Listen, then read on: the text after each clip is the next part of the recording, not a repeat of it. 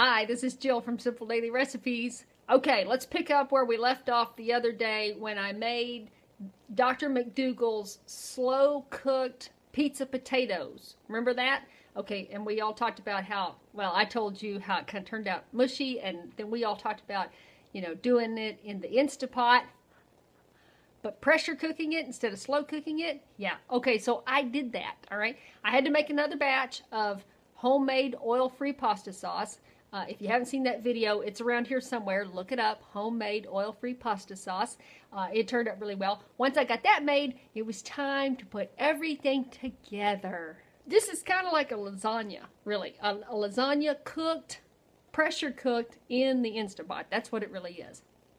Yeah, did you say it? You said it, right? You don't know what I'm talking about. When I do this, you need to ask some friends. You're falling behind. Okay, so here's what I did this time. This is not the same exact pizza potato arrangement that I made the other day. I stepped it up a notch. I, this time I thought, I'm to put some sweet potato in this, and I am so glad I did. And I put one Field Roast Italian sausage uh, in the batch here. And I just, get it all crumbly like that, I ran it through the food processor. There's all my potatoes, which that was probably about four or five medium potatoes. I got a little bit of frozen spinach I'm trying to get rid of. Then I have some fresh spinach. Oh yeah, and then I made some parmesan, which was half cold raw cashews, half nutritional yeast. And I just blended that in my coffee grinder and got it all to a powdery consistency. And then here's my pizza toppings. I've got sliced onion, some fresh zucchini this time, and uh, one long big old red bell pepper. And I and I this time I cut everything into thicker chunks. And then here's my homemade oil-free pasta sauce. It, like I said, if you want to know how to make this, it's in another video. Okay, so you start by putting a layer of pasta sauce on the bottom of the pot and then adding some water to it. Because we're pressure cooking this, we need water to get the steam up, okay? So I have to put that water on the bottom. And then we go a layer of potatoes and then a layer of zucchini. And you know what? There's no right or wrong here. You just get the layers going. Put in the onion and then the red bell pepper and whatever your favorite toppings are, even your favorite lasagna layer I mean, just think like that. Think like lasagna and just pile it in. Now, I'll tell you, right here with the sweet potato, uh, I'm going to make, next time, I'm to make this again because this, this rocks. I mean, I love this. This is, this is going to be my new favorite meal. And Charlie liked it too. And this stuff is even better the next day. Oh my gosh. We ate this for lunch today and it was so good. I wish there was more left over. Uh, but next time I'm doing like, I'm going to make the bottom all regular potato and then I'm going to make that second layer, layer all sweet potato because that sweet potato in there with the spinach is good. Okay, and you saw me, I put the rest of it in there and I put the crumble on top. And that, that field roast Italian sausage has so much flavor to it that I just wanted it to be on top and I kept it there. And I'm glad that I just made it one layer because it was pretty strong. You know, even with all this in it, I had not met the maximum uh, fill fill space in my liner pot, so I was still good to go. Okay, so uh, and then I just set the I had my settings set to manual, which put it in high pressure, and then here you'll see I couldn't decide whether I should cook everything for four minutes or maybe I should go with three minutes because uh, I was thinking about the potato and the sweet potato, and then I ended up settling on three minutes. And three minutes was fine three minutes was perfect. That it still the potatoes still came out really tender, um, and I think you know I could probably go two minutes and everything would come out tender. I want to say this because the pot was so full and I had an adequate amount of liquid in the pot. I've never experienced this before with the with the Instapot. It took a while to get the pressure going, more so than anything I've ever cooked, and I know why because I didn't have a lot of room in there. There wasn't a lot of head space in the pot to, to get the pressure going. It took some time. Normally, it only takes about, you know, I don't know, five minutes to get the pressure going, and then the, the little silver thing, you know, pops up and everything starts cooking and it starts counting.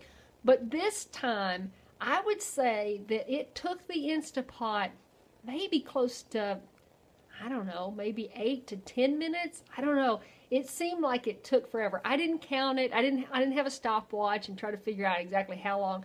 But it it took a while from it to say on to it till it started actually counting to get the pressure up to start pressure cooking. Okay, so I'm just going to warn you right there. If you're going to do this and you fill this up all the way, nothing's wrong.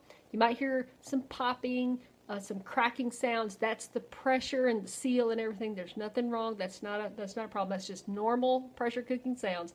But it's going to take a little bit. But once the pressure gets up there, and you'll hear it, you can even hear the water boiling on the bottom of the pot. It just there's just not enough a lot of room in there to get a lot of high pressure going.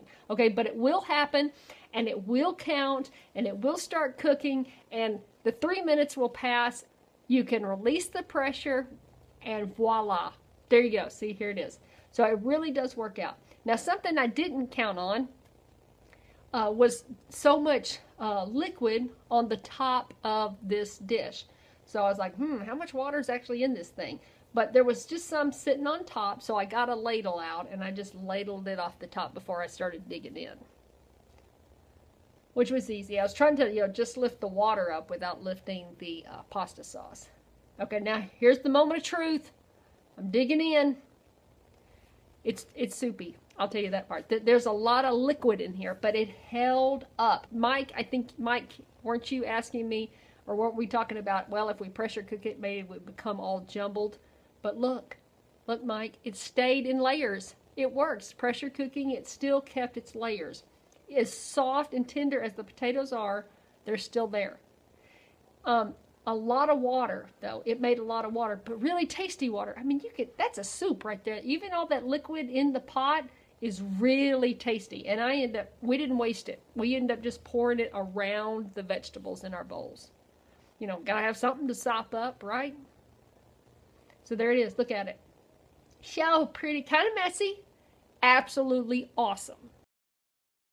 What I did here was I ladled out some more of the juice so that you could see um, my layers. They held together. Just fine. Look there. Mm, I cannot wait for you to make this. I can't wait for you to write me a letter saying how wonderful I am and how thankful you are that I made this and showed you how to make it and that you and all that. I love you. You're welcome. I cannot wait for you to make this. Um, be sure to check out the homemade oil-free pasta sauce uh, video and then make this and then your family is going to love you. And I'll tell you what, you're really going to like it the next day because the next day, oh man, there's not enough. I mean, I might have to get a second Instapot and like double this recipe so there would be enough to be able to eat it the next day. You know what I'm saying? Because I could figure out, I had two huge bowls of this stuff. And then my husband had a big old bowl. I stuffed myself. And I, did I care? No. Because when you're living and eating uh, an oil-free, whole food, plant-based lifestyle, you can have two bowls of stuff like this and it does not show up on you the next day. It is awesome. I love it. I love it. All right, I'm going to stop talking now so you can start writing down what you need on your grocery list. The uh, All the ingredients for this recipe are posted in the video description below, and you can also find them at the end of this video after I stop talking. Feel free to use all your own favorite pizza toppings. You don't have to use all the same vegetables I did. Just stick with the potatoes and stick with the tasty uh, homemade pasta sauce, and you can do, you know, from there you can just go any which way you want to. I love y'all. I'll see you later. Bye.